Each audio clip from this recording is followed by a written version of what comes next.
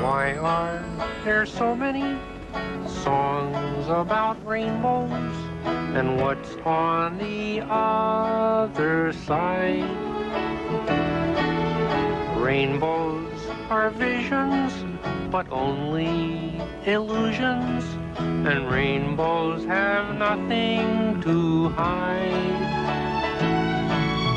So we've been told, and some choose to. I know they're wrong, wait and see.